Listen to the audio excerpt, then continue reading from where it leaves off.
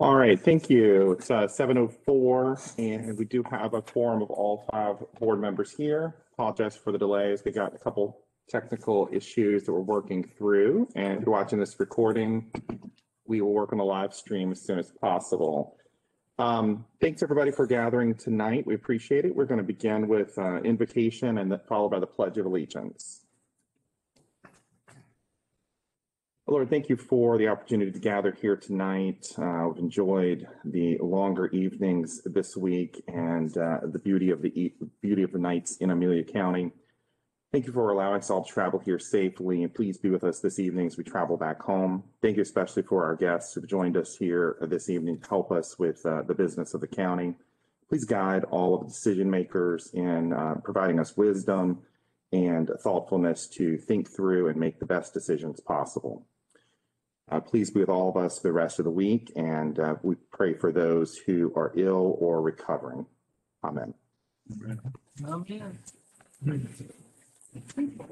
The flag's in the hall, so we just, we just look that way.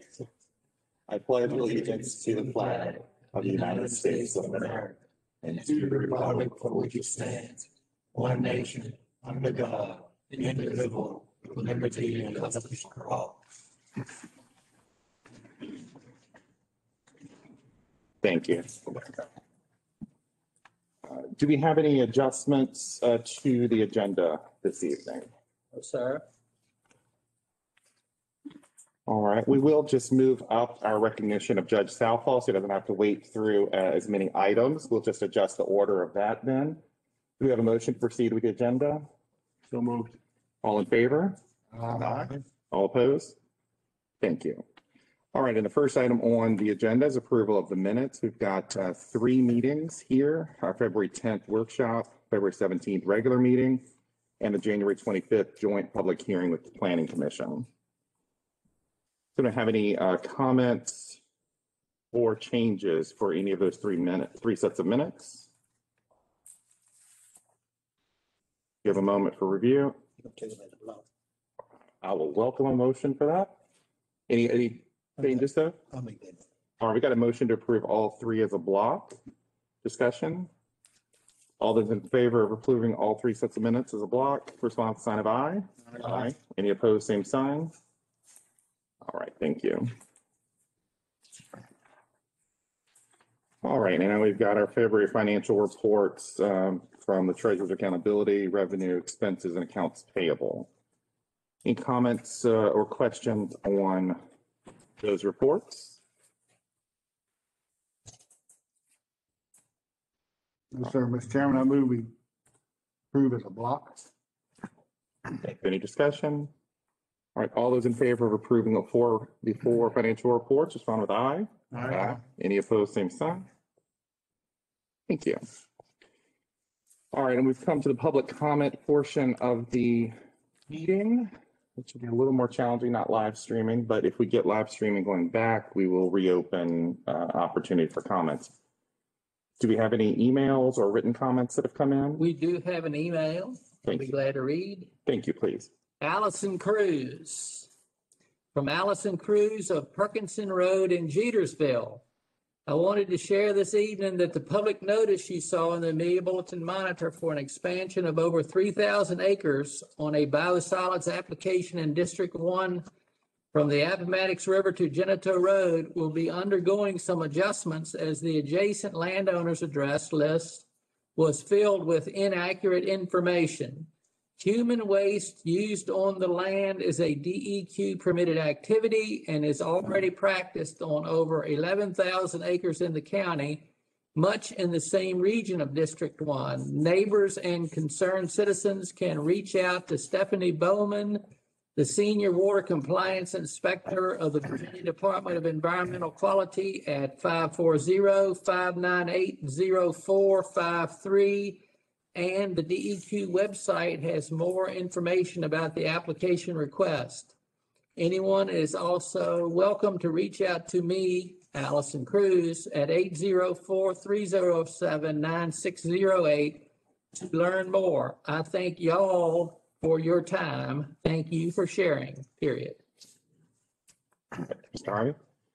Is there anyone in person here tonight who has a comment or, Mr. Springer does. all right? Mr. S- Mr. Springer? Yes, sir. You're welcome to stand and just give us your name and, and where you live.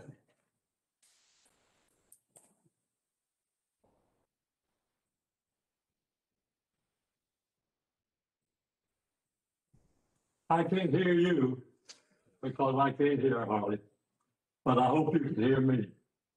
Uh, I'm sort of an old fella. And I go to the gym over here, at building, and I work out. Uh, the equipment is among the most beautiful I've ever used in my life. And fifty-five years ago, I used to design and build exercise equipment and sell it. My brother and I went in business to do this when I retired out of the Navy. Uh, so all my life I worked out. And you say, well, why would a guy my age go over to the gym and work out? Well, if I don't, this shoulder don't work so good. This one don't work good. The elbow starts hurting me. My knees give way. But using the equipment over there, I tell you, it's beautiful. Sometimes I'm the only person there using it. That's a shame. Mhm. We got it crowded into a little closet. Only about a third of the size of the space you need to really use the equipment. And you can't take that kind of equipment at a person who's never worked out and say, okay, here it is. You've got to have somebody set up a program for him, show him how to use it, explain to him what muscles it works and what it doesn't do. Uh, if you don't, you know, if you go there by yourself, he'll work out a couple of times, he'll get discouraged and he'll leave. Which is really a waste of the equipment. So what I'm requesting you to do is to go and look at it. Find a space where it can be set up and used.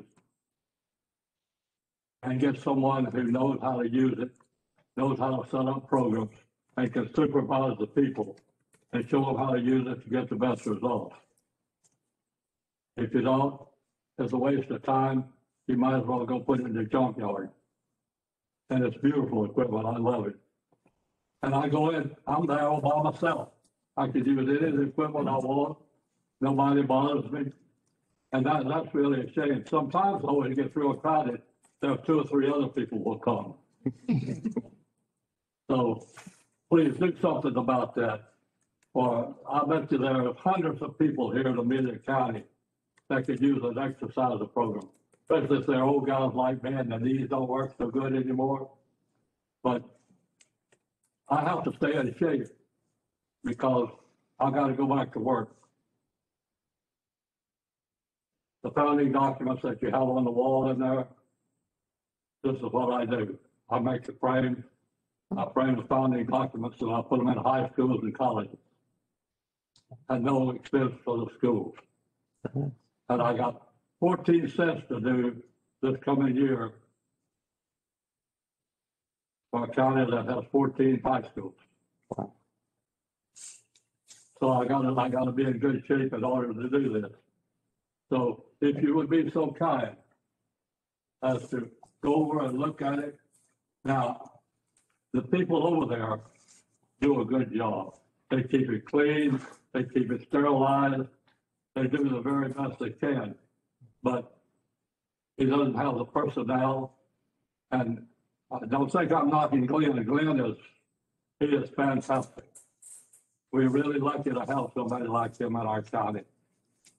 And so, but Thank, I think that just about covers it. thank you. Thank you.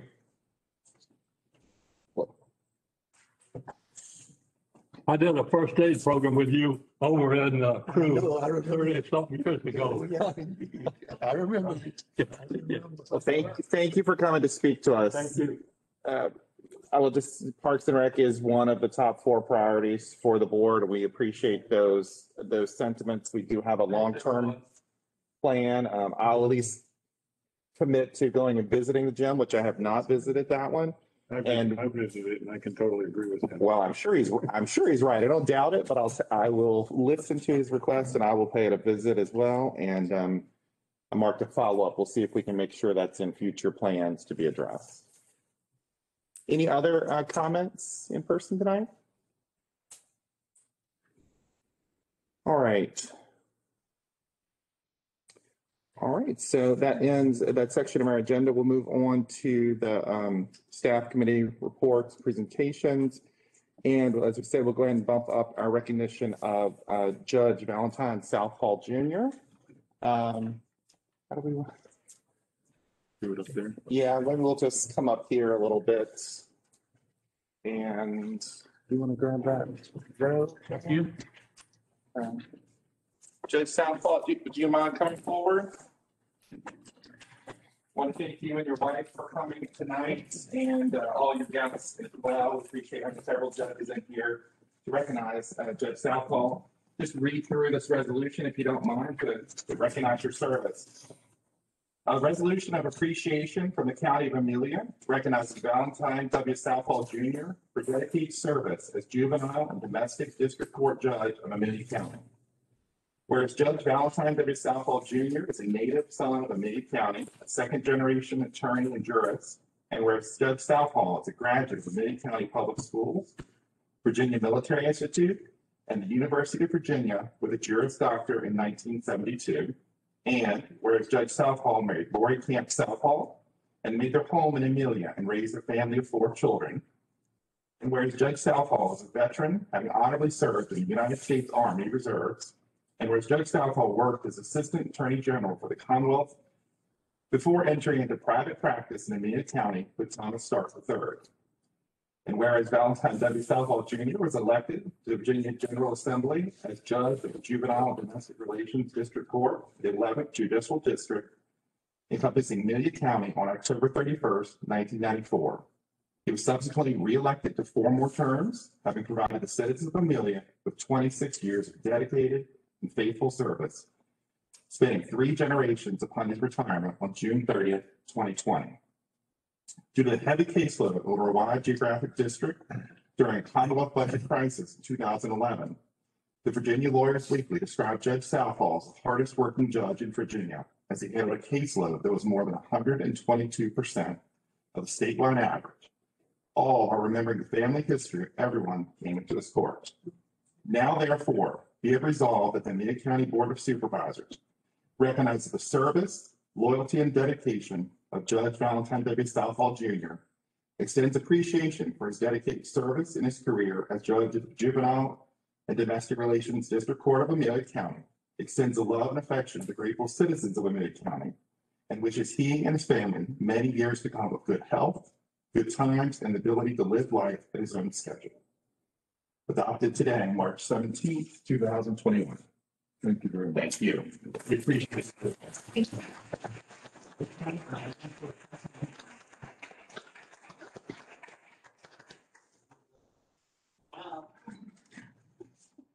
And we are proud, we are proud to present you with your, with your robe for your service. Thank And I don't think we have it called in tonight, but we also understand that we're gifting you with your chair, which we believe was special, special made for your, for your height as well. Well, that's, that's very, I admired that chair for years. Well, the uh, newer judge does not have a need for quite as high of a chair, so we're, we're happy to. wow. Busy didn't tell me that. Yeah, Well, we thank you. well, I'm, I'm very grateful. Uh, You said everything I could have said, but, uh, I'm a, I'm a Melian by birth and by choice. I was away for a while and came back and, uh, it's, that, this means a whole lot to me. I spent a lot of my life looking through, you know, records and all that sort of thing and seeing names. And so I suppose someday some kid will be rumbling through your records and see my name and say, who was that guy? Uh, but it's very, it's a very great honor to have this resolution. Um, I've meant and have not, uh, actually officially or formally by letter, thank the board because it's been 26 years. And I don't know whether Frank was on the board or about to come on the board when I first started, but he was, he and I served on school board together. That's right. And That's right. Taylor was on the board either at the beginning or near the beginning. And throughout the time that I've been a judge, I've really appreciated the efforts that the board of supervisors have- gone to, to accommodate me. Um, we didn't know about, I hadn't been a resident judge here in Amelia for twenty-some years, didn't know about an office. I was, you know, kind of at a loss for that too, and that y'all worked through that a lot. Uh, and particularly the people who are here today, uh, but you, your predecessors and what you all have done too for the court systems have been, it's been a great service to the county. I do, my wife is here and we've been married for longer than I was on the bench. Um, she has encouraged me, inspired me, because of all the people who need recognition, she probably needs it more than, than I do. Not only for being, putting up with me, but she's a great teacher. She's been a teacher for a long, long time, still teaching in Chesterfield County. And I do, there's some people here, Missy, Melissa Gill.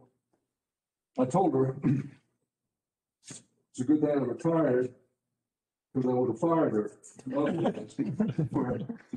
Actually, So I think she is behind all this, but then she, she's great.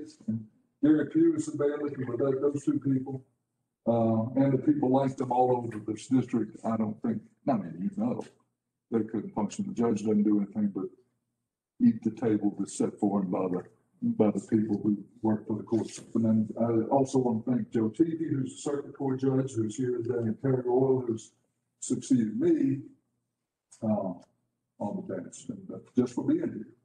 Um, And Derek Goff, I was looking at him, so I think that's who that is, out there. it's hard to recognize it. But his people got me out of here because they helped me get those desks and all that stuff, furniture out of my, out of my office when I was leaving, and that was not an easy thing. And so he sent people down and they were, they were very accommodating. So the only other thing I said, sitting here thinking, I believe, you know, I went to school for my whole twelve years here. That was the library, I believe, and although it might have come this way some. I think this was the principal's office and I never made it, I never made it until tonight to the principal's office. Usually a sign of a misfit youth that I really wasted the time I could have just paid. Uh, and get to. Never got there, but here I am tonight. So thank you all for your consideration and your resolution. And good luck to you all. And Frank, and I was thinking about Mr. Springer. It, it takes me back. Because I was one of, the as a lawyer, he came to, he and his wife came to my office and they were, uh, their, their daughter teaches in the school, so, oh, taught, I don't know if she still teaches or not, but anyway, it's just a nice man. And I remember they, fir- I was one of the first places they came and they didn't know where they were going, didn't know how to get along, didn't know anything, and it was just nice to see him here. And uh, I appreciate y'all's consideration of what he has said. Anyway, Frank, thank you, Taylor, thank you, and all of you. Thank you.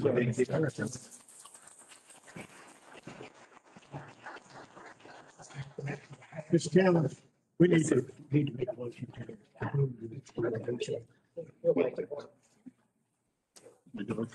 Thank you. I appreciate that. Make a motion that we approve that resolution. All right, and we've got a motion to approve the resolution for Judge Southall. All those in favor, respond sign of aye. Aye. Any opposed, same sign. Thank you for making that official. Appreciate it. All right. Moving along. Ms. Worley, thank you for uh, holding for us for a moment. We appreciate it.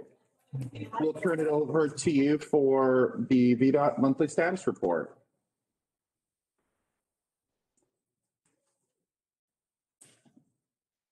We can't, uh, we can't hear you. Are we, No, let me see. she just needs to. Let's see.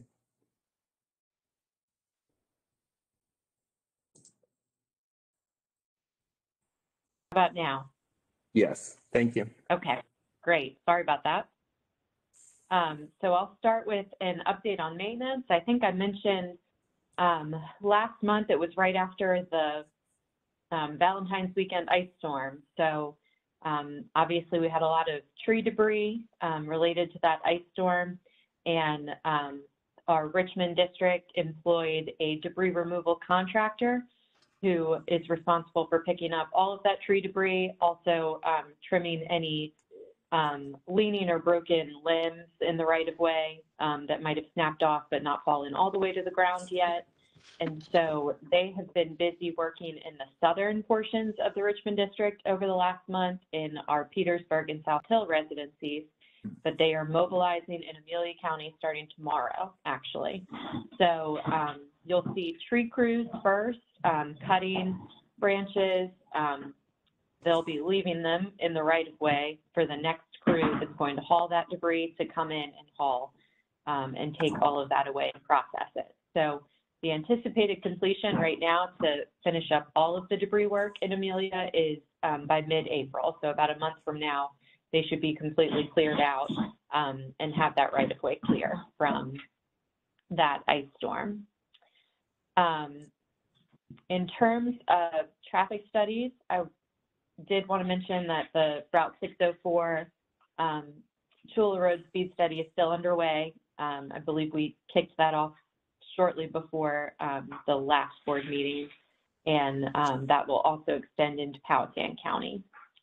Um, golf cart use, I know, Mr. Easter, we've been communicating back and forth about that and what some other localities in the Richmond district have done. Our district traffic engineering group is currently working with central office just to confirm our interpretation of the Code of Virginia as it relates to golf cart use. Um, I think, as we've discussed, um, our district has been consistent as a whole, um, and we're just trying to clarify that we're being consistent with what other districts are doing statewide. Um, so more to come on that, and if there are any changes to um, our interpretation of that code section, um, I'll certainly let you all know if you want to take action in some other way. Um, I just and note then- to, to others aware, there was some news in the Times Dispatch that Hanover, for example, had adopted, I think it was Hanover or Henrico, had adopted, um, permission for that. And then, uh, Ms. Worley helped us find some other counties too. So we're just, I appreciate you looking at that once again. It's obviously not our mo- most pressing thing, but when we see other parts of the state doing it, we want to make sure that we're taking advantage of things that our citizens want to. So thank you for that follow-up. Um, and then in terms of construction, as you all know, the Route 360 bridge replacements are currently underway. Um, obviously, that'll be a constant, an extended construction project, um, but it's currently on track to finish up next summer, summer 2022. Um, and the Clementown Road Bridge repair work is also underway with the detour, and that is scheduled to wrap up, I believe, in May or June of this year. Um, so that um, we're coming up on the completion date for that bridge repair project. Um, and then the final thing of note from construction is that our surface treatment contract will be kicking off shortly. Um, and they will be starting with patching operations countywide in June. So you'll start to see um, some work on that surface treatment contract. So um, that's all I have for this month, unless any of you all have questions for me.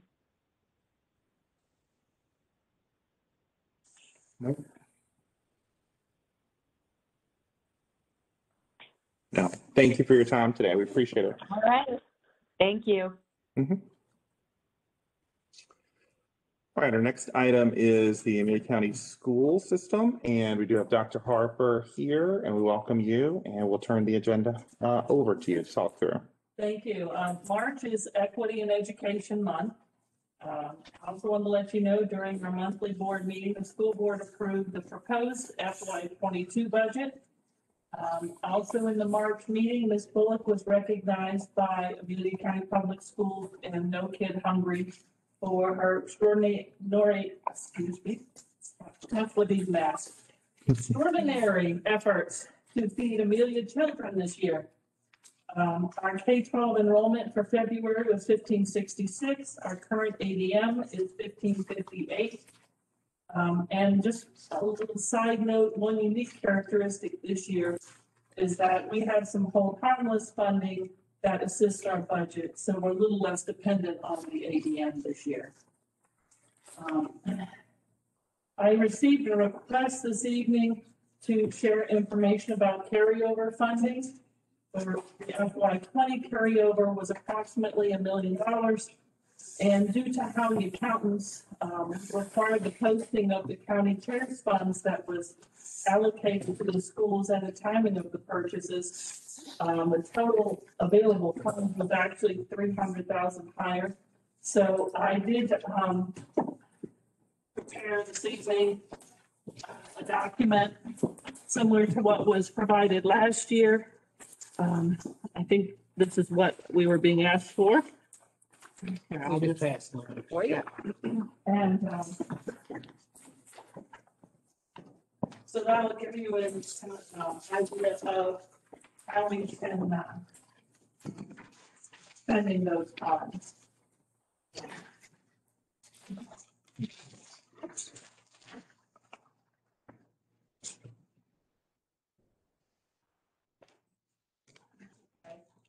Uh, also Thank you. this evening, um, we are the recipient of another CARES type grant. These funds are being to enhance our summer programming for students who may need support and to help cover the cost of providing virtual instruction for next year for those families who select fully virtual instruction.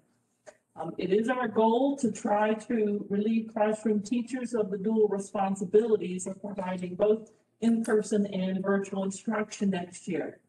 Uh, We have a committee that will be meeting on Monday afternoon to begin preparing um, for next year's plan. Um, The grant that we have covers a multi-year period, so funds not used this year do carry to next year and FY twenty-three school years. Um, Your approval of this allocation is requested this evening. You should have a copy of that document in your um, notes. And the one final thing uh, regarding our financial report for February, our revenues and expenditures are at fifty-six point four four percent. The Expected level of revenues and expenditures for this time of year would be sixty-six percent. And Ms. Bullock is here if you have any questions regarding those financial reports. So we do ask for your approval of those um, CARES funds. Uh, page eighty-five. It's CRRSA, Coronavirus Response and Relief Supplemental Appropriations Act. Those are the nine hundred fifty-five. Yes. Okay. Any questions or? Thank you. We've got a motion to approve this. Any comments or questions on that? All right, all those in favor of approving the supplemental spending appropriation, respond with sign of aye. Aye. Any opposed, same sign? Thank you. I think that'll be very necessary. I anticipate you'll have a lot more summer um, work to do than in many years. We, we expect the cost to be probably three times what it normally is. And then, um, our budgets do not contain funding for virtual instruction provided outside of the division, which is what most school divisions will be doing next year. And so these funds uh, will help us in both of those endeavors for the next two years. Good. Thank you. And I'm sure Ms. Cave has your updated numbers for what the school board has approved for budget and we'll continue to work forward with that. Thank you. Thank you. You? Okay. All right, um, we've got the Board Supervisors Committee and Activity Report. We'll just, uh, run through, um, and hit highlights from each member. District one. Um, it was a pretty busy month. Just Chairman, like I said, I'll hit the highlights and then we'll, I'll email this to Joe in the minutes. Mhm. Um, planning commission meeting in February, talked about some stuff we're gonna talk about tonight. Had numerous emergency managers meeting concerning the shelters. Actually had a hot wash afterwards to kind of see what we can improve. Still did some work on that IT position. I sat in on the fair committee last night. Oh. That was, it was good. Mhm. Um, just to get some information on how things go. Social services. uh, Ms. Pullen So she's at full capacity now as far as employees due to the latest, uh, state funding position, state funded position. Um, had the Piedmont Jail Board meeting this morning. We still average about sixty-three folks housed there. We're kind of in the middle. Prince Edward and Nottoway are above us, so we're kind of in the middle. And that's about seventeen point three percent of the population there, what we put there, so. That's why we probably see, they're about hundred and forty thousand over budget. And that will need to be absorbed through the localities. So we may see an increase of about twenty-four thousand. And I had a radio system update this afternoon. There'll be more to come on that. That's about it. Thank you. I think if I remember, sorry, Carla, I think she, Carla was planning in what she expected for the jails Okay. increase. If I, is that what y'all recall from her? I- I think- Yeah, okay. Thank you. Uh, District Two? Yeah, I, I emailed all you this detail today, so I'll just be brief, but um, attended the same joint POS, BOSP planning commission meetings that you all did. I attended uh, four broadband update meetings, one every week of the month. And um, two CRC meetings, one was postponed, so we had two this month. And found out today that we're currently not eligible for EDA grants due to um, our unemployment rates are too low and our median income is too high. They, they, they tell me that this can change over time and we may be able to apply for something some other time, but right, right this minute, we're not eligible for EDA grants. Which was a disappointment. Uh, I attended two Piedmont Senior Resources, a finance committee meeting and a board meeting. An animal shelter meeting with the awardee of the contract for the, um, feasibility study which went well. Um, EDA meeting. Two, I attended two Zoom town halls, one with the Farmville Chamber, which had Dr. Adekoya, the Piedmont Health District Director involved, and I listened to her, and also one with Spanberger, who had some doctors from Henrico and, um, Richmond, I believe, just talking about COVID vaccines. And last, this, this, well, last week we attended, Joseph and I both attended a VACO class. It's the last one for me for supervisor certification, the fifth of five, on the role of purpose-driven policy, deliberation, and decision-making. And then attended a technology task force kickoff and a GIS kickoff meeting. Both projects are off and running. It's a busy month, lots of good things are happening. Good, thank you. District Three?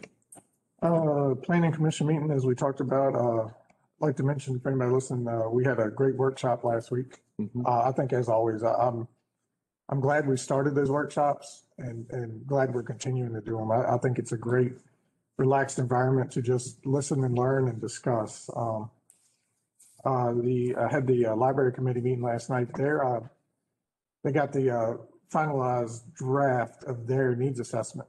Um, and it was presented last night, so they should be gathering the, getting the final figures on that and probably be presenting that within the next month, I, I do believe or so. Okay, Um, I didn't ask for a specific time, but, but it, it was I'll just put a reminder. pretty impressive. Um, looks good.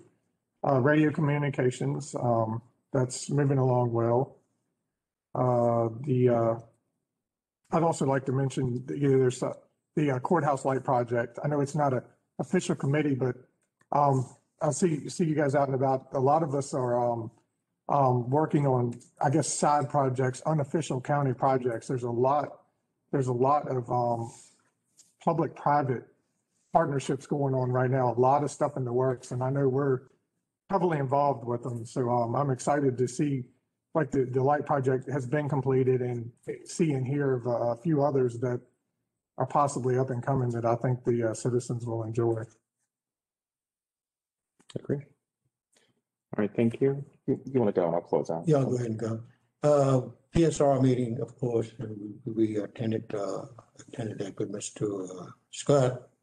We had a CMPT meeting, uh, right after the last meeting that we had here. Got one- Another one coming up on, uh, tomorrow morning as a matter of uh, most of more,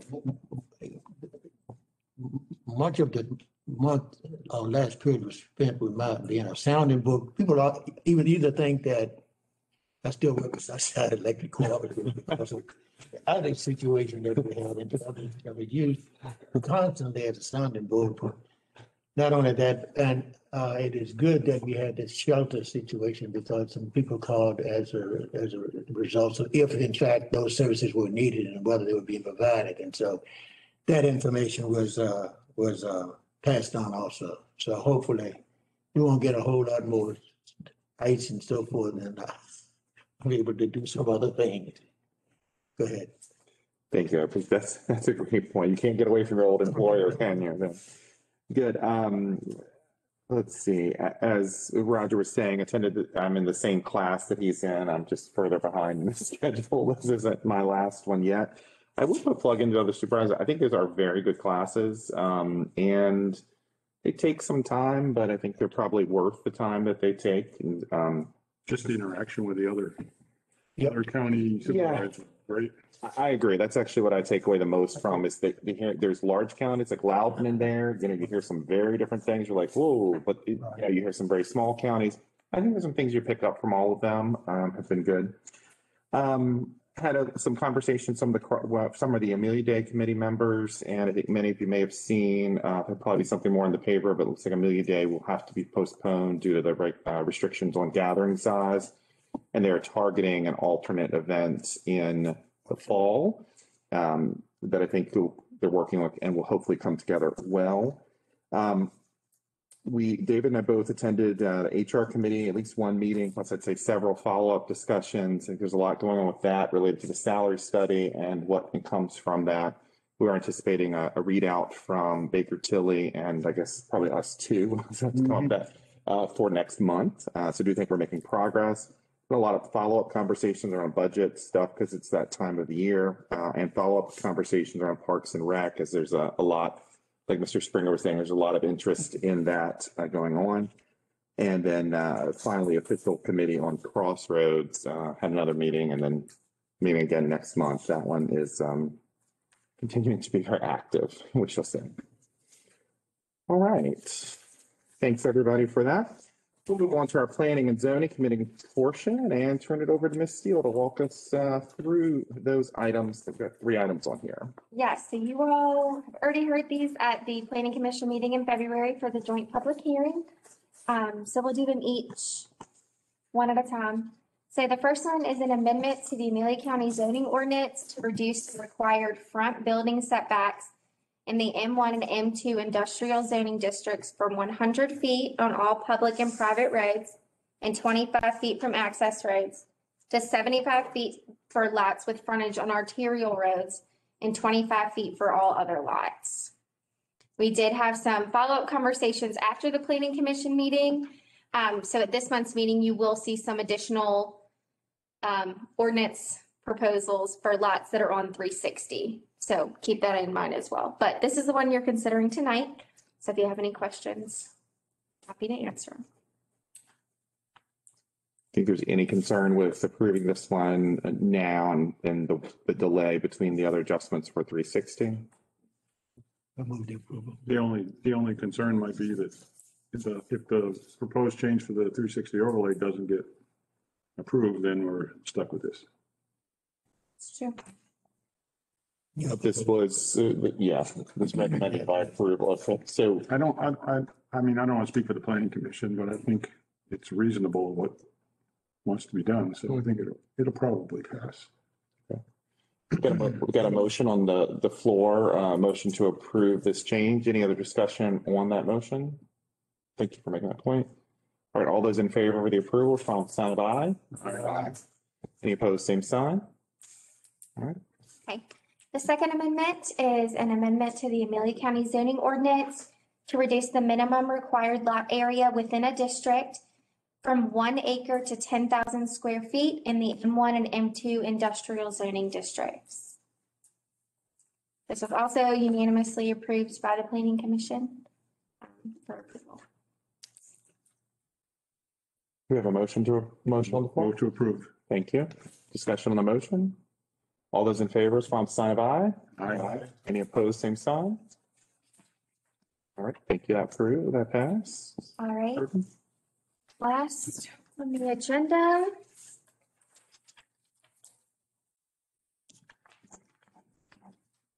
Is a special exception permit request from Brian Harris. He is proposing to convert an existing portion of the building in the Amelia Bottom into an automotive repair shop. Um, as we talked about at the public hearing, there'll be minimal changes to the front of the building. His shop would be along the side. And he, as he explained to you all, there will be sound barriers and all the appropriate measures to make sure it's not disruptive to the neighbors and the surrounding community. Um, but Mr. Harris is here tonight back there, so if you guys have any questions, I'm sure he can field those for you. I just want to say, I I- personally, I'm excited with between your business and the comic book store. That's two new businesses moving into uh, one of our older uh, areas of development in the courthouse uh, space, and I- I'm very excited to see something productive uh, occurring down there, so. Any other comments or questions uh, for Mr. Harris or Ms. Steele on this one? I Move to approve, Mr. Chairman. Thank you. We've got a motion. Any discussion or on the motion? All those in favor, respond sign of aye. Any opposed, same sign. And motion passes. Uh, Ms. Still said that, but just for anybody wa- with watching the recording later, do want to be really clear that all three of these did have a public hearing. While we moved quickly for tonight, the Board of Supervisors did have the, the joint public hearing with the Planning Commission as well as Planning Commission, um, discussion and, and hearing as well. So lots of opportunity for input on those. Anything else for your, for your section? Not for that. All right, moving into the next section, we'll go to your other topic then with the twenty twenty-two to twenty twenty-six capital improvement plan. All right, so this, I think, will be about the fourth time you all have seen this, so you could probably give this presentation for me. Um, the Planning Commission Subcommittee met February eighth to discuss the planning commission, the CIP for this year. Um, they ranked by priority instead of in a one through whatever list. Um, they put, they divided things into top priority, medium priority, and low priority. Um, and they didn't feel like within each priority, one was ranked over another. Um, this went to the planning commission at the February twenty-second meeting and it was unanimously approved there. I haven't received any calls or concerns from the public about any of this. Um, but if you all have any questions about it, happy to field those. And I know Kent is here tonight if you all had questions, because I know some came up at the workshop.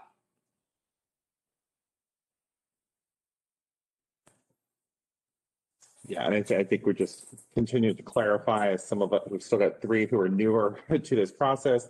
Any motion uh, that we do tonight is then for approval, uh, for, to acknowledge receipt of the uh, recommendations from the planning commission, which we will then factor into our final budget, uh, is, it is not an automatic approval or denial based on what's been submitted. Does anyone have any questions for Ms. Steele or Mr. Emerson? Sorry. You need a motion to just, uh, receive them. Yeah. Thank you. So we've got a mo- motion on the floor to acknowledge receipt of the uh, CIP plan. Any comments or questions? All those in favor of the mo- uh, remote, the motion, response sign of aye. Aye. Any opposed, same sign? Thank you. Uh, with that approved, uh, so we were, we've, um, we've had some discussion about, you know, getting the, I think we planned to most recently every two months, trying to look for the existing CIP items and getting a report on status.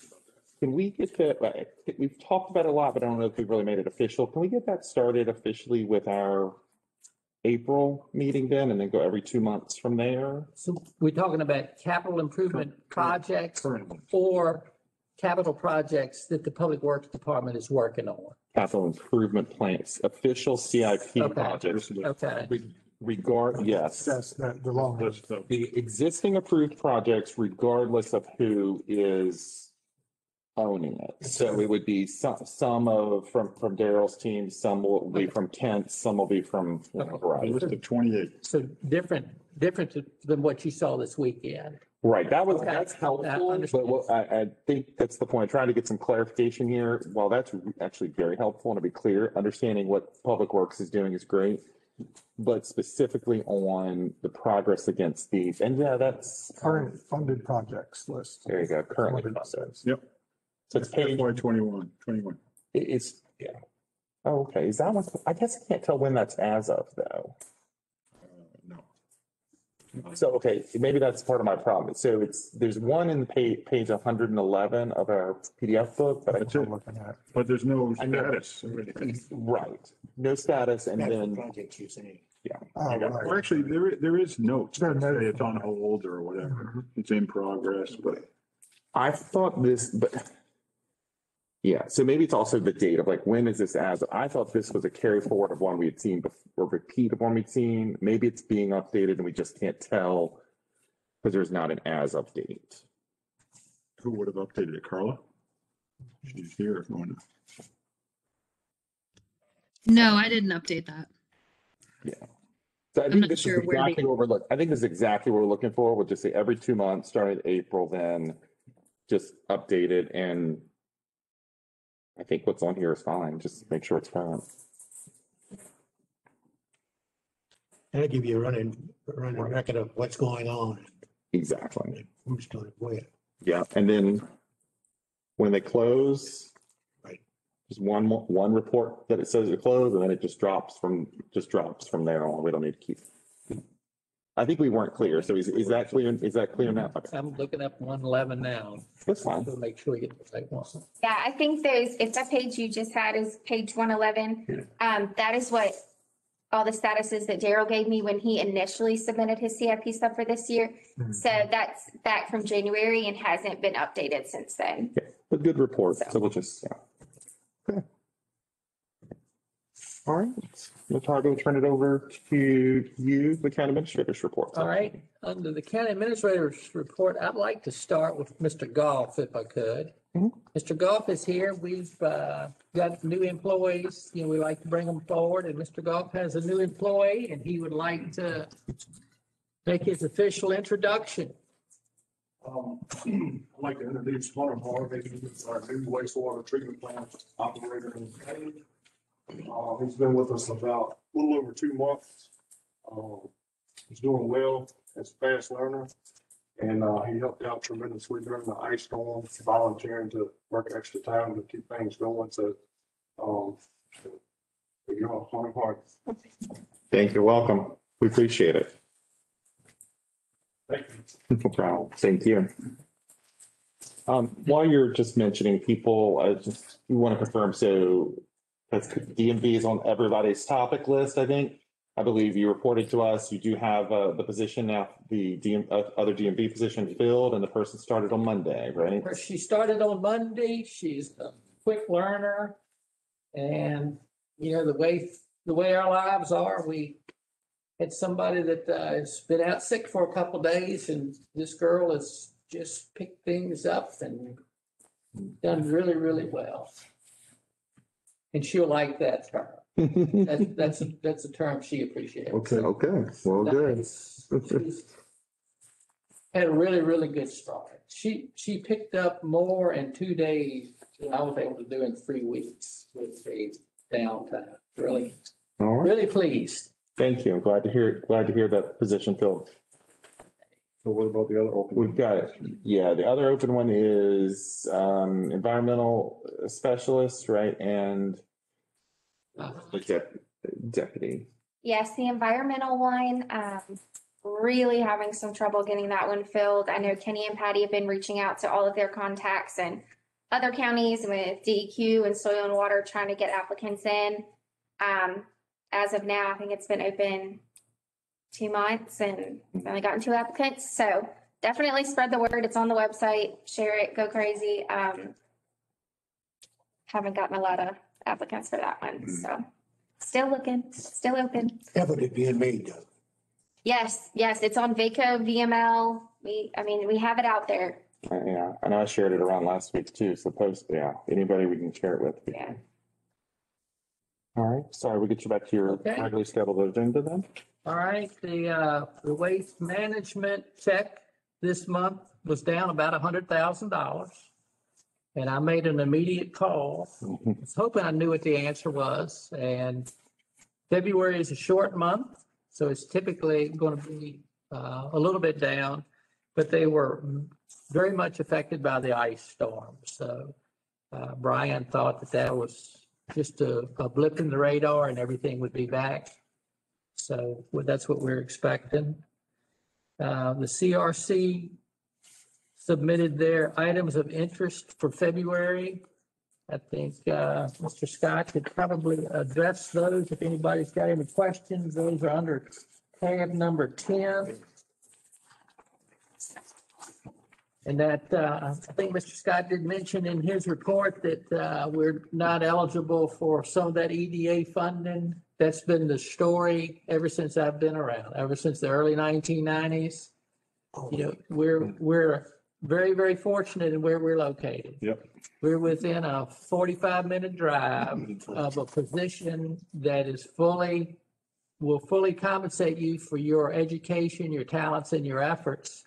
And our people work them and our demographics are better. So we're still going to try to work through these, some of these programs with our adjoining counties, but uh, that wasn't the first time we'd heard that you're not eligible.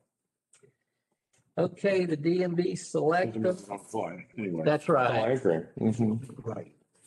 Yeah, we're at that fine, they're at that line where, I mean, everything you said is definitely right, and yet it's not really where you want it to be either. But We definitely pulled our share, if not more, of the effort to get the region certified. Yeah. We're, Mhm. We all participated in that CEDS committee for months. and months. okay. All right, DMV select, the gross collection or excellent net collection was sixty-eight, seven forty-seven. I think that's pretty much in line. Uh, the accrued compensation for calendar year twenty twenty-one is sixty-six thirty-five. Uh, Be glad to answer any questions about that. So I wasn't, I wasn't on the board when the, when the move for the DMV Select was made. What's, generally speaking, is it meeting our expectations as far as both revenue and costs, or where do you think from your recollection of what was projected? I think the hope was that it, it's a service that pays for itself. Mhm. And we, we've not gotten to the point where it pays. But there was concern of some board members at the time, if I remember correctly, that due to the online and everything, that the numbers would drop, and we're not seeing that, which is a good thing. It's costing the county money every year, but not a lot, Yeah. and it's not getting worse. Well, that services are being. The service, and it's a service we need. It's a service we need. I've, I've spent, Definitely service we need, yeah, yeah.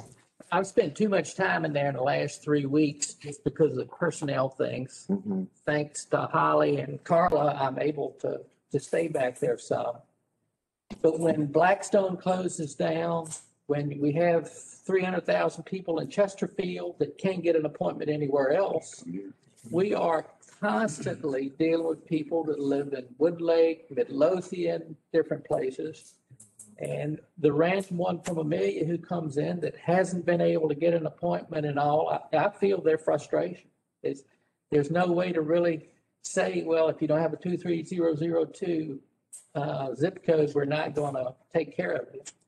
But there, there are a couple of things that we've been looking at, a couple of things we've been thinking about, and, and hopefully we're gonna be able to process people quicker with the, the new lady. Whenever the technology gets here and this, the networking equipment is already in the building and we can handle the phones a little bit differently. We can take some of the talent that we've got in there that's really good at processing titles and get them out of the communication business and put them into what they can do, and they do very, very well. And when we get to that point, I think we're gonna, we're gonna realize that we've made some uh, vast strides. No, I appreciate you, I appreciate you acknowledging the, that there are some complaints and concerns. I mean, I agree, it's an incredibly valuable service, but it's probably the num, gotten to be the number one complaint that I see and hear. Um, VDOT may be number two, probably. At least we can deal with number one. Um, I, think, if I think specifically about what some of the complaints are, I think it's the, the scheduling piece. So we got the report that you forwarded about some of the other uh, DMV selects around the, the state, and not all of them are requiring the advance appointment. I mean, have we thought about whether we just say first come, first serve in and whether that would actually help? Uh, There's pros and cons, to be clear. I realize it's not an immediate. The way our environment is, we, we will not meet the governor's social distancing requirements if we have come one, come all. It's too close to the end of the door. You wouldn't be able to stretch people out long enough. That would, uh, that would be a, a real issue, we think. Um, the online that we looked at doing that, a big part of people getting their appointments is there, there are four things that you ask. What's your name? What's your telephone number? What type of transaction do you want? Fully a third of the transactions folks want, we can't do. And if we were doing them online, they would knock their slide out. They'd wait three weeks to come up here. And then somebody at the window would say, well, I'm sorry, we don't do that. So we would lose the timing with the appointment, that, that space. Plus somebody would go away madder even than when they came in. So we, we just think that if we head towards the telephone thing, be able to turn folks over quicker and whenever the spacing is relaxed, we'd love to be able, and I think we could do it. I think you could run appointments for the titles because they take fifteen minutes apiece. But I think we could do walk-up renewals because they take two minutes if you've got everything straight. So we'll, we'll see what the next set of rules that they release say when, uh, Ms. Coleman and, uh, I'm sorry, Ms. Johnson gets one hundred percent up to speed. We should probably be able to increase our production and efficiency. uh, What's her as name? well. First Chandra. Chandra Johnson. We've gone from Chandra to Sandra to Chandra. I I think, I think you have a good point with the phones. Um, I understand your point of the schedule. I, I do, because it, that's the point of it select, right? You, you can't do everything.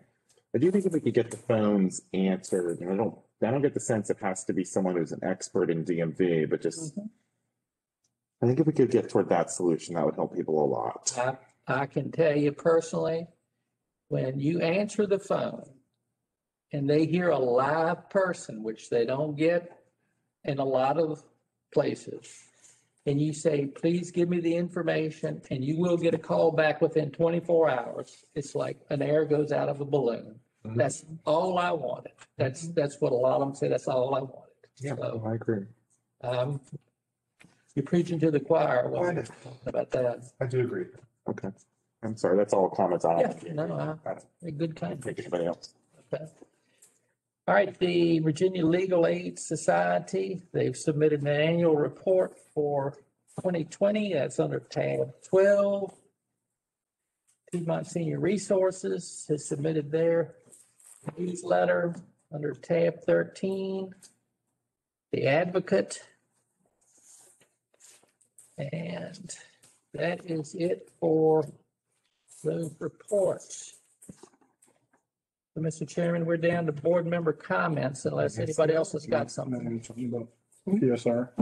I just wanted to say, and Frank, I'm sure. Speak to this too, but PSR has really stepped up during this whole COVID thing. They are serving so many meals to shut-ins, people who can't get out. They're doing uh, virtual caregiver sessions because caregivers can't go into the homes. And they have just really, really stepped up. Taking folk out to COVID. uh, Yeah, they're picking people up and, I I was gonna say something about that. They're picking people up to bring in COVID vaccinations and they've just really done a great job. Nice, I'm glad. And they actually, a- as we saw from the last budget session, they asked for very little from our county contributions too. So that's, uh, it's an incredible benefit for the county for what we pay into directly. I realize they do off, they do operate off other government funds too. Yeah, but for what we pay, we get a lot. And, and the other thing is they've showed us their statistics. months and months ago, I asked them to start showing us statistics on how much of the service they provide is given to each county. And, and it's a percentage and a quantity, and they started charting it. And Amelia, last month was up ninety percent over 90%. where it used to be. That's right. Oh, wow. We were at the bottom, Uh-huh. and we- we have, they're, they're serving more and more clients in Amelia now. That, due to that, because you could see it, how, the disparity. Prince Edward and Nottoway were getting everything. Keep generating. And it's because it used to be in Nottoway and now it's in Prince Edward, but we were pushing that, you know, we need to spread this out a little bit. Everybody pays basically the same, but we're not getting the service. Right. So we're getting a lot more now than we used to. Thank you both for pushing on that. And Mr. Scott uh, jogged my memory. Mr. Emerson volunteered to come tonight. If anybody wants any questions or would like to hear a little bit about the mass vaccination, he's, uh, he's interfacing with the Department of Health with that and he, uh, he'd be glad to answer any questions anybody might have as to how that's going to unfold. I've been intimately involved, involved with it with him and, uh, Make, make it. PhD, so I don't have any questions. Let me, let me make some few general comments. Yeah. Okay, Mr. Emerson, could you still brief and please? I can be brief. As Mr. Scott mentioned, uh, there is a vaccine clinic that's going to be going on. It's March twenty-fourth, next Wednesday. It's been advertised. It's going to be at the middle school. The school was gracious enough to work with us and the health department for that. Uh, It will be by appointment only, so the citizens are still going to have to go through the process that the state has to register. And I know that is upsetting to some of the residents because they're calling and being told that they can't sign up for that particular event yet. And the process is that they have to sign up for the vaccine. And then between now and next Wednesday, the health department call center is going to be calling them back to register them for our event. That's the process that the health department has and that it's beyond our control. Right. But it will be held, uh, next Wednesday, the twenty-fourth. The, we've been told that the vaccine will be the Johnson and Johnson vaccine, which is the one shot One shot. yeah. vaccine. And it will be a drive-through clinic. They will come in, receive their vaccine after they do their registration. Park and wait the given amount of time that the health department asks them to wait, and then they'll be allowed to leave. Do you feel comfortable with the volunteer, with the response you're getting for volunteers? Do you have everything that you need? We don't have enough volunteers just yet, but we are very, we're doing very well, yes. Good. We could take a handful more, but we're doing well. We, we should be fine. Excellent. I don't have any concerns about that. That is in the paper this week. I suspected it would. And it's going, and it's going around nicely on Facebook. I've been getting some, It's uh, been shared a lot. yeah. It's, it's getting around. The around. biggest concern that I've seen has been the people that are, are calling to try to register for that event, and the health department just will not do that. I had a couple of people contact me today. They were concerned because in the, in the monitor, it said we're gonna have 500 first shots. And they assumed that meant Pfizer or Moderna, but it's not supposed to be. It's supposed to be supposed Johnson and Johnson, which is one shot. One shot. Nobody, nobody Johnson there. So, no, I'm not blaming you, just, The newspaper was trying to get information oh, for some time, and. It's been fast moving. Wait. Yeah, I don't hear it as blame, just I'm not blaming, clarification. I'm just want, trying to clarify which one's right, Yeah. because maybe he has some more, some, something. It's your first thing to last. So it is You still, know what, until Still the first. Monday, That's true. Monday afternoon is when I found out it was the Johnson and Well, I think that, that's good, because if that means they don't have to come back, then that's even better for us. It's- It means when they we're done with that number of people. I had a call before- I had a call before I left to come tonight, uh, that lady, a person I've been talking to off and on, I told her that she got to get on that state list, on the Mhm, state list. yeah. And I told her to work because I got my second shot today. Good. Uh, And it does work. It's, it's just slow, and It's it's slower than, you know. nobody's fault, it's, it's just. the other question I've had is, um, people say, well, I called the local health department and, and signed up. And I'm telling them, great, but you should still go on the website or the, or call the hotline and check the list. Because it's, you could just click on the button, check the list, put your name in, and it tells you whether you're on it or not. Oh. I wouldn't assume that because you called there that you're automatically in the database. You should be. But just double check. Double check. Everybody can double check. Yes, I agree. Do you, do you want to mention y'all's news, the publication at the same time, that while it goes with that, or it's here? No, if you, if you want me to. I'm- Yeah, I think we could just, we're Okay, going through general so- updates here. I've talked to Frank and Joseph about this, but I've been talking to a lot of people in Farmville, including Dr. Adekoya, a lot- pretty much on several times a day regarding the vaccines. And um, a thing that in the African-American community, not only African-American, but white too, there's a concern about getting the vaccine. There's a lot of people who are anti-vaxxers. There's other people who are just afraid. And what they did in Farmville, they're doing is um, Letterpress Communications is putting together a mailer and it has a prominent African, African-American person, I don't know who it is, but from Farmville, saying, I got my shot, it's safe. You should get yours too. And so I would like to propose that in Amelia, we have Frank as a prominent African-American and Joseph as he, they both had their shots to do the same thing, but not just African-American, both.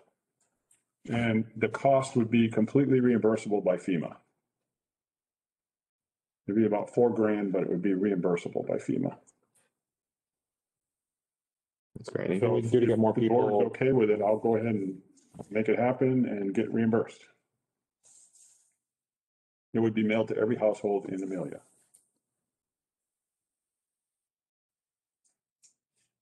I'm, I'm supporting. Yeah, I'm fine You with think we need a vote on that, or? I'm okay with it. Uh, If we go spend money, I think wouldn't hurt to have a vote. That's good. We can make, we can make it our support official. Do we, do we have a motion to support the, doing the mass mailing to every citizen, every household in Amelia, um, regarding the vaccine? I'll do it. Okay, vote. All those in favor, response sign of aye. Aye. Any opposed, same sign? Thank you. And I think that's great. Uh, even if it wasn't getting personally, even if it wasn't getting reimbursed, I think that's a good thing to do for, um, health and safety, but it's even better that it gets reimbursed. Um, we're a little out of order, but how about since we, we've gone on some good topics in yours, you want to just finish out your, um, board member comment section and we'll rotate, are you okay with that? We'll- Then we'll just rotate back. Well, I had three things I wanted to talk about. It won't take too long. but Number one, I gave blood today, which is not a big deal, but the big deal is there's this young lady named Peyton Coleman. Mm, yeah. This is her fifth, she's a high school student and this is her fifth blood drive she's arranged. And I think it's just awesome that we have somebody that's that young and that cares that much about giving back. So I just wanted to sh- give her a shout out and hopefully it could go in the paper. She's done five now, and I've been to think, I think four of them.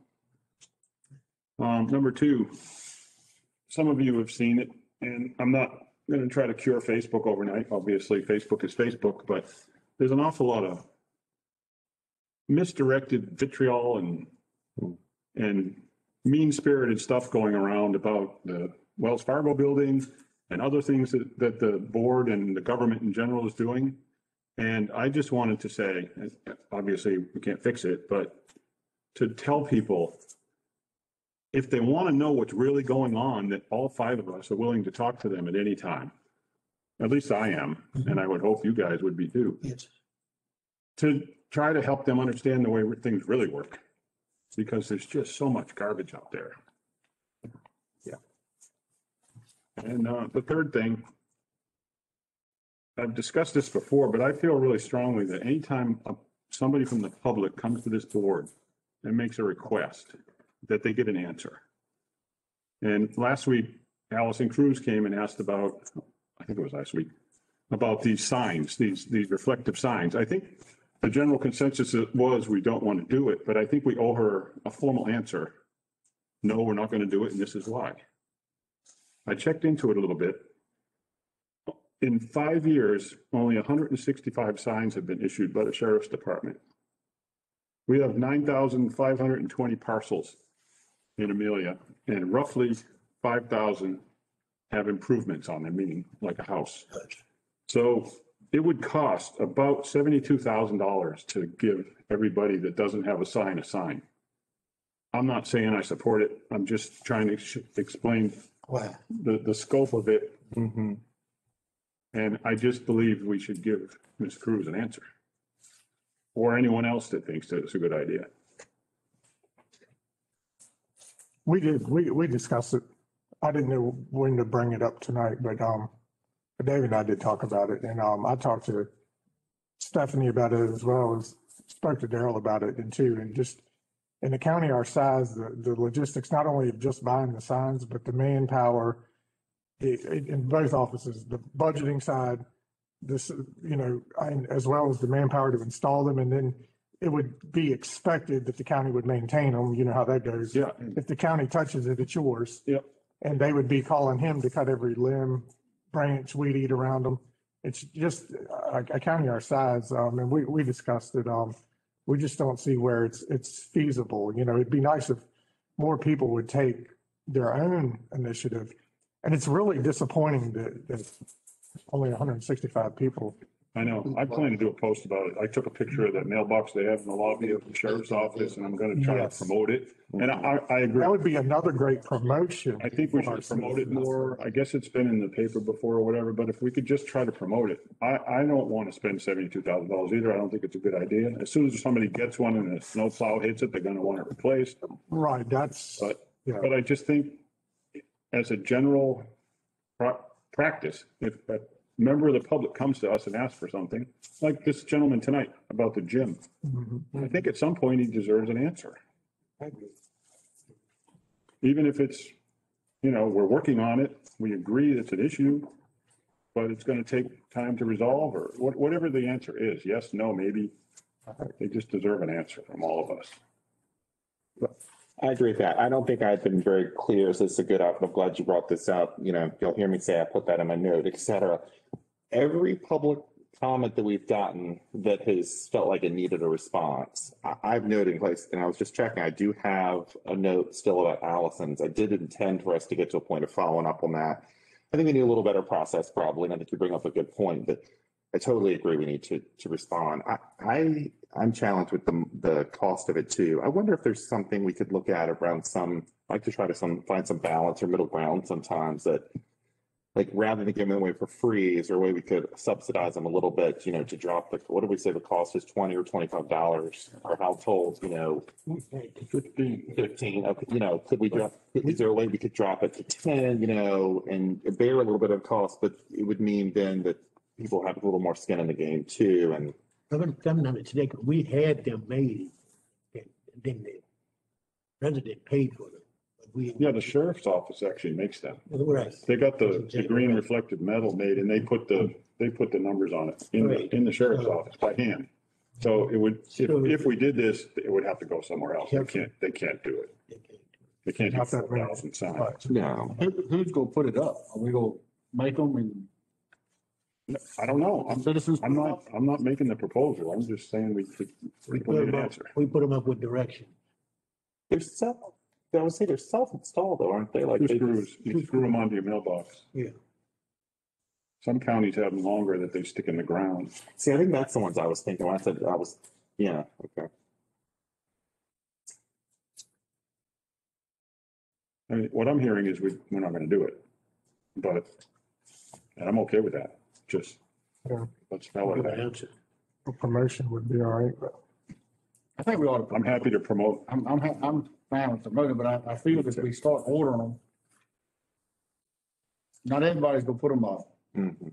Then they're gonna request somebody to come put them up, which is gonna add more work on. Or worse, they just throw them in the trash if you send them to them. I think, I think if we promote it, claim liability on the county because we didn't. It, it opens a huge can of worms, I, I feel, from, from the governmental side. I don't disagree. We could say something to the extent too that, uh, there's a benefit to having, having one up. Right. Mm-hmm. Right. I think see that status. Very two vehicles had to come there or. law enforcement Exactly. or something. There- There's a benefit for having it up. Yeah.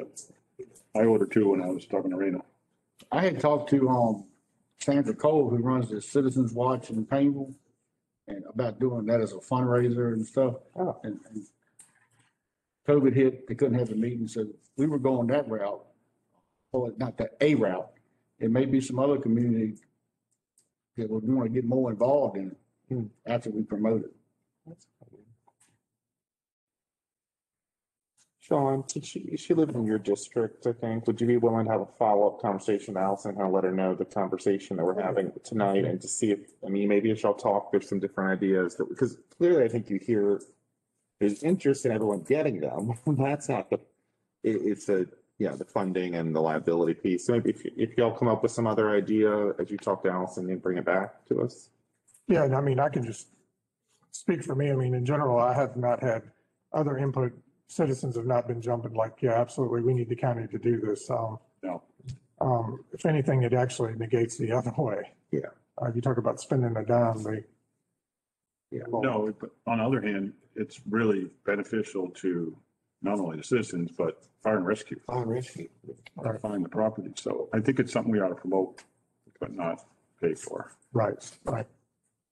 Along that line, I, I didn't take a note of this one because I think we, last month's meeting, um, the pastor that came and spoke, I can't remember his name all of a sudden. I think you were going to send him a couple names. Mr. Livingston. Liv, thank you, Livingston. Livingston, yeah. Were you able to, you I sent him? did. I haven't heard back from. That's fine. I think that's just, that is along Roger's lineup. We do intend to follow up with people. And I did make a note, um, that I'm going to follow up for Mr. Springer's. I do want to follow up with, uh, Glenn and Harold to, just to see.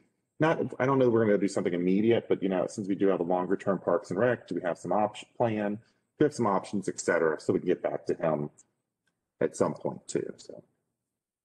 I'll, I'll take follow up on Mr. Springer's, I guess. Maybe that's what we need to be more clear about going forward is who's got the follow-up point. Okay.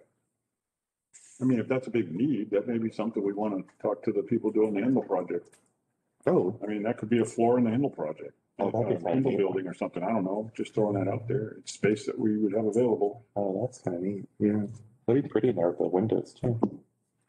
Um, all right, let's, let's go back on the schedule, go back to Mr. Phelps, just run and then run down with, uh, comments. Okay. Um, like most of us, we attended to light it up, light up the courthouse ceremony. Um, I want to thank Public Works and Ms. Holmes. Uh, Materials were purchased by our community and installation was done by Public Works. They did a great job. I might have stepped on the new dirt grass at one time. Um, it's great to see the community, the county partnership on this project. Uh, An idea was presented and how the money would be raised. There was a plan. She had a plan how she wanted to do it, and it was uh, completed. So I shout out to her. Thank you. District three? Uh, on, on, continuing with the uh, courthouse lineup, um, we, let's say, we, Crystal and I out, outside of the board, so my private side, uh, we have an idea for, for another ne- next project, if y'all may have heard it the other night. Um, not discussing it yet publicly, but, um, there'll be another probably fundraiser type thing. Um, we were talking, I mean, the, the courthouse in the Bay is rather unique in that we have that, that huge courtyard out front. And the design, the layout, you know, most, most courthouses are on the street. You know, older, Yeah. the courthouses are on the street. Um, and, you know, it's, it's a, it's a beautiful area to take advantage of as well as like with the love sign coming, encouraging people to come to the courthouse, making it, making it more user-friendly, park-like attraction. Um, uh, you can go drive through town most evenings and see multiple families, uh, walking, you know, around the uh, courthouse square, around the sidewalks.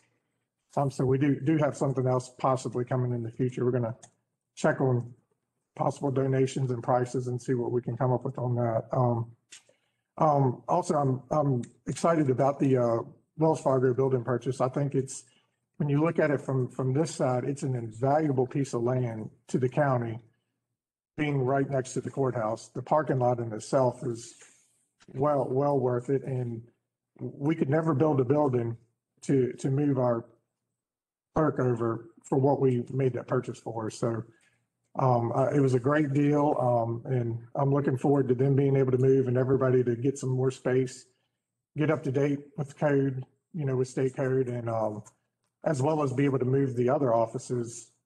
So everybody has, a you know, just, just make it a little easier on everybody. Um, the only other thing I had is, uh, we, we did get a, uh, since it's fresh, uh, just let everybody know, uh, there's a possible threat of severe weather tomorrow evening. Um, we, we should all know by now to take uh, these severe weather threats seriously. So I hope everybody's prepared now and, and pays a little more attention when, when they do call for it. I hope it misses us, but just in case, you know, and, uh, as always, have the citizens let them know that they can reach out to us or multiple people if they need something to ask. We might not be able to help, but we might know who can help you with your situation. So I always encourage, you know, if we, if we don't know your problem, nobody can help you at all. So just reach out to somebody and, and, and we'll try to point you in the right direction. Thank you. Mr. Harris? You good? Mm-hmm. All right. And I don't think I have anything to add either. I think y'all have spoken well. I totally echo the comments on the lights, the Wells Fargo building, et cetera. So, thank you. All right, do, we, um, I think we have a very brief item for closed session, like super brief. Um, any other items, uh, before we go into closed session? All right, then do do we have a motion to enter in closed section for, it's closed session pursuant to, uh, Virginia Code two point two three seven one one dot three for discussion or consideration of acquisition of real property for a public purpose uh, or disposition of public health property or discussion open meeting would adversely affect the bargaining position or negotiating strategy of the public body. I move we go into closed session for everything you've been said. Thank you. All in favor of the motion, respond with aye. Aye. Any opposed, same sign. Thank you. I'll take about a two minute break. I think that sounds great. Out of closed session. All right, uh, we're back from closed session. We need a motion to, uh, then serve. to come out first. I make a motion. Okay, thank you. Um, all those in favor of returning to open session, response sign of aye. Aye. All opposed, same sign. All right, we're back in open session. Seen a motion to certify that during the closed session, we only discuss items related um to the exemption in Virginia Code two point two three seven one one dot three related to acquisition or disposition of real property. So moved. Thank you. We'll do a voice vote certified, District One, I certify. District Two, I certify. District Three, Uh, certify. District Five, I certify. District Four certifies. Thank you. Any uh motions coming out of closed session? No action taken. I had one more thing before we, before we adjourn. We good? We gotta close? Yeah, you're good. Oh, or, or oh, is the meeting over? No, no, he's, no, Okay. he's one more thing before we close. Okay. Wayne called me when I went outside, and when you, when we do our publication about the addresses, Wayne says there's already a law on the books that says it's supposed to be displayed. Yeah, it's in the ordinance. That they're supposed to display their Maybe, number. Yeah. maybe give the sheriff a heads up that we're getting ready to do this, and I- I don't know, they may be, maybe ought to give him a heads up that we're getting ready to publicize this, and maybe Just a friendly reminder. just a friendly reminder for if you decides to start enforcing this. I told Raina I was gonna do it. She was all for it. Right, but you- but just so everybody remembers, the ordinance does not say you have to have that sign from the, so No, like, you you just have have to to have, display you have numbers. to display the numbers. They numbers. I have to agree with you. I think that's part of the problem is we don't enforce some of our own ordinances though. Maybe just a chat with the sheriff and just say, hey, we're gonna do this, and if anything, Since I initiated it, I'll talk to him. okay, just a courtesy. that we're You'll talk to them and you're talking to Allison, so. All right, do we have a need for a continued session or do I have a motion to adjourn? Thank you. All those in favor of adjourn, uh, response sign of aye. Aye. Opposed, same sign. And we're adjourned. Thank you, Jeff.